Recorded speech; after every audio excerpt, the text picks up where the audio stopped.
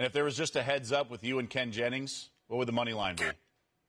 I uh, saw that uh, there was an offshore that actually made me a minus 200 favorite, which I think is really heavy. You know, I'm good on the buzzer, but Ken is better. And, and a straight trivia test, I might take Ken too.